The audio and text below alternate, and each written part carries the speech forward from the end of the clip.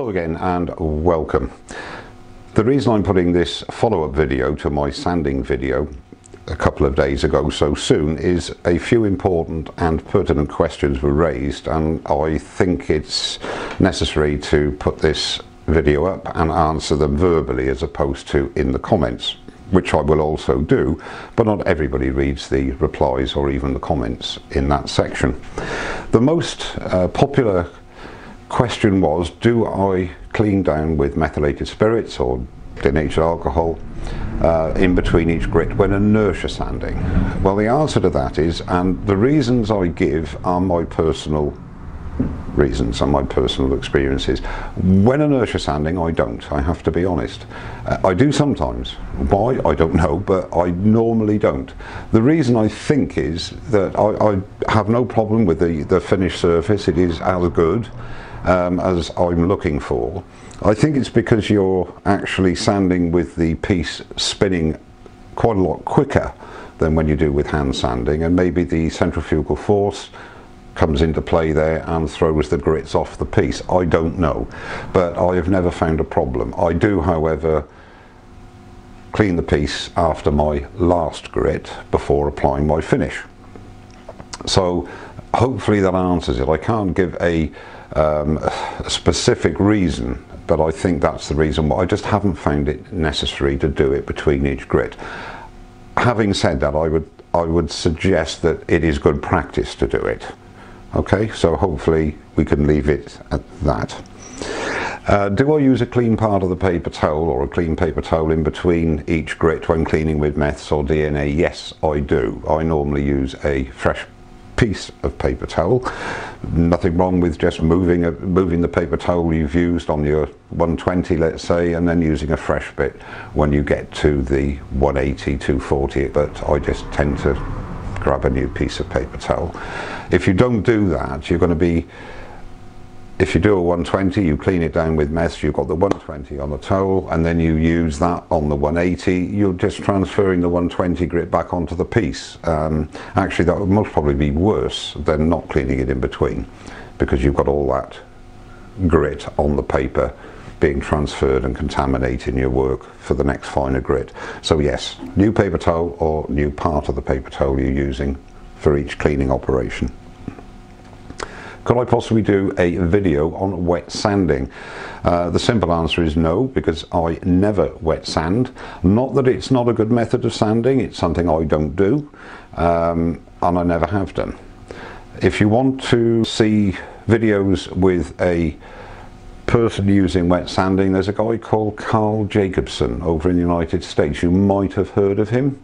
I'll put a link to Carl's channel, not that that's really necessary, and Carl normally uses some form of a lubricant when he is sanding. So go across and watch Carl and see what he uses and see if that is the sort of thing you're looking for. Um, the quality of abrasive. Quality of abrasive is important and I'll say at this juncture when you make videos you go to edit them you think oh, I should have mentioned this I should have mentioned that. That's why it's so important for people to contribute and input their comments because then it gives me an opportunity and others like me to address the questions and the concerns that people have.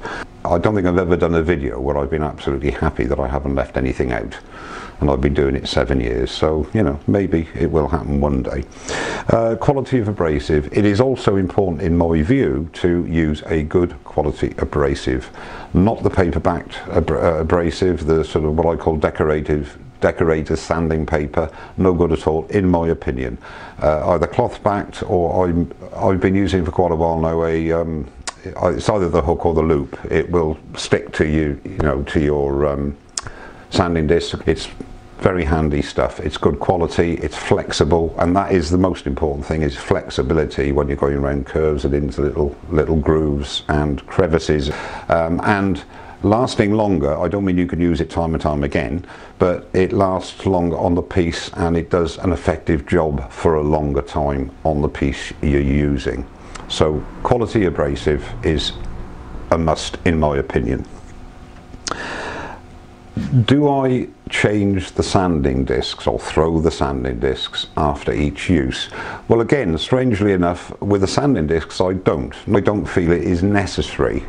Very rarely do I use the same sanding disc more than twice, but it depends on a lot of things. It depends how much how long you've used that sanding disc on a piece. If you've got a small little piece you're doing, like that bowl, I'd possibly use it twice. If I'm sanding on a big piece, uh, a vase or a hollow form, whatever, 99% of the time, when I've finished sanding that grit, I will throw that disc away.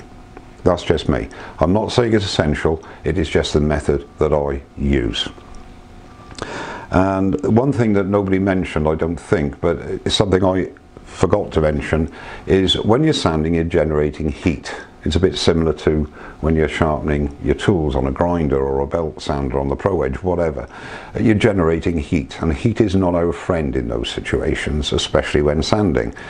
If you're uh, fruit woods like apple, pear, and uh, plum, all cherry, all those fruit woods are very, very prone, uh, you as well, very prone to heat, what I call heat cracking. I don't know if that's the right terminology. Um, and if it gets too hot, you get these very fine um, heat cracks. So heat is not your friend. So again, be very aware when you're sanding your work to be mindful of the heat that you're generating. And quite often when people say, oh, you know, I always double or treble my abrasive, my sandpaper, or I put a pad behind it because I burn my fingers. Well, if it gets that hot and you're burning your fingers, you're making a big error by carrying on because you're creating much too much heat and it's not good. So my advice is, as I've, as I've said in the other video, is an even light pressure, let the sandpaper do its job. Don't try and help it, let it do its job. And be very mindful of the heat you're generating. As soon as it gets a bit warm, stop. Let it all cool down and carry on. But if you carry on, you're going to be generating more heat and causing more problems for yourself than you need or indeed want.